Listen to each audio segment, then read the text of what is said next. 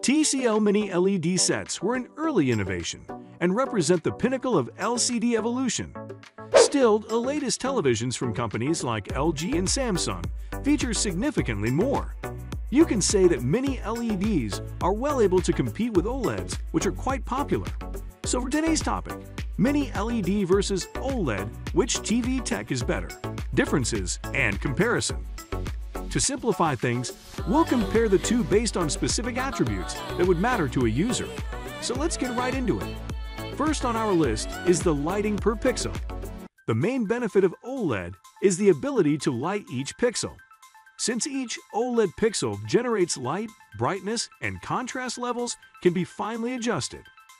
While Mini LED is similar to OLED, both are designed to improve LCD TV backlighting control. The two technologies operate differently. Mini LED TVs of the future may feature as many as 3,000 individual light zones. That's a significant step up from standard LCD TVs. However, it still suggests low-resolution adjustments to brightness and color saturation. OLED displays have more than 8 million zones because of their per-pixel lighting. Think of an OLED screen that is completely black except for one brilliant white light. Now imagine 8 million of that. This is the technique behind OLED's lighting. In comparison, mini LEDs are subpar. In a 4K panel with around 3,000 lighting zones, each backlight zone would drive around 2,700 pixels, so a mini LED TV isn't even close. Mini LED will not be able to provide adequate lighting for objects with intricate designs. As we'll see, Mini LED won't have trouble reaching its maximum brightness. Still, it won't be able to eliminate artifacts like bright halos around dark objects. Speaking of brightness, another important feature to check for. And we'll be talking about that soon, so stay tuned and don't miss out. There is more. Mini versus OLED. In a landslide, OLED emerges victorious in this feature. Moving on, we will compare them next based on their viewing angles. Mini LED TVs are essentially the newest variety of LCD panels with an improved backlight. Home theater expert Robert Silva said on Quora, Mini LEDs work the same way as standard LEDs do. They provide the light source for LCD TVs. In other words, LED TVs are actually LED LCD TVs. The fundamental method of projecting an image onto an LCD panel has not changed, nor have the inherent limitations, such as the inability to adjust the panel's color when viewed from an angle other than straight on. When it comes to viewing angles, OLED panels are without a peer. OLED has better viewing angles than LCD technology, including Mini. LED because it is a self-emissive technology in which light is generated by the pixel itself. Mini LEDs are fresh on the market, so you might wonder if it would be better to toss out your OLED since new things are generally better. However, that may not be the case. Not to worry, this is what our channel is here for to keep you informed on which appliance is what you are looking for. So subscribe and get an alert whenever we drop a video. Next, we'll move on to brightness. OLED televisions have a dim picture. The standard retort is that they are unnecessary because of the high-quality contrast already present. As a result of OLED's ability to produce nearly perfect black levels, the contrast between bright and dark pixels is striking. In recent years, OLEDs have become increasingly bright. The quality of LG's panels has been rising. Sony says its new OLED panel can reach 1,300 nits, bright enough to damage your eyes. Too bright, it burns! Ah! but only for a few milliseconds in a tiny area.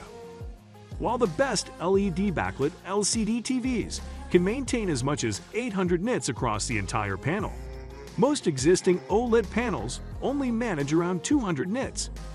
Mini LED only looks to amplify that disparity. To our knowledge, Mini LED has a clear advantage here. However, remember that luminance alone isn't enough to judge HDR quality, contrast, and color accuracy. We'll go into detail later in the video about the color accuracy feature comparing mini LEDs versus OLEDs, so don't miss out. Still, mini LEDs shine brighter than their larger counterparts. Now, OLED versus mini LED in terms of speed and response. In terms of this feature, there are two main problems. One is the time lapse, or latency, between the transmission of video data from a device, like a console or PC, and the appearance of an image on a particular screen.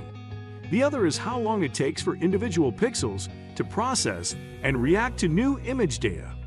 LCD panels are currently the fastest screens in terms of latency, albeit usually gaming monitors and not necessarily TVs.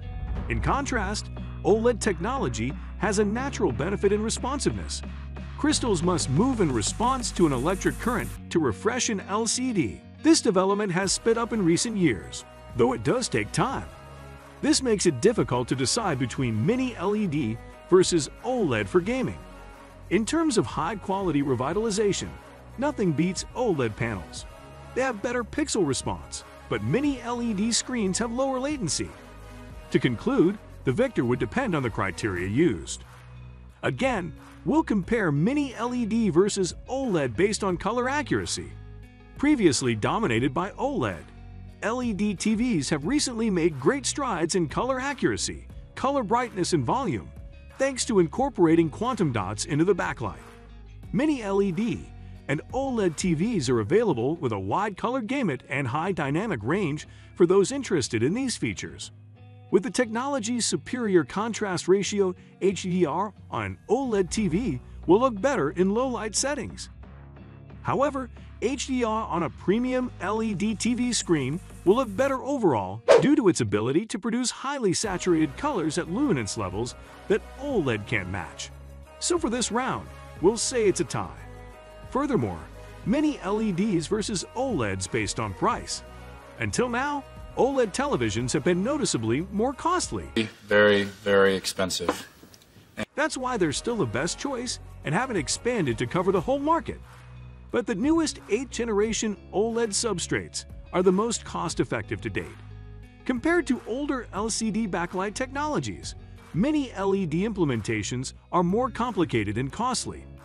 Mini LED panels are only 10% cheaper than today's OLED screens. Still, some industry analysts believe this is due to their high manufacturing complexity. The final cost may be very close where the more affordable 8th generation OLED panels are factored in. It is difficult to put a claim on this one, since the prices vary depending on the grade you are looking for, so we'll leave it for you guys. Which do you think are pricey? Share your thoughts in the comments section. It is unclear how much more affordable or bright the next generation 8th Gen OLED panels and the latest mini LED TVs will be. Still, the per-pixel nature of OLED displays is likely to prove advantageous in the long run. However, this is just our opinion. If you enjoyed watching this video, you like our next Best OLED TV 2022, you should buy now. Don't hesitate. Thanks for watching.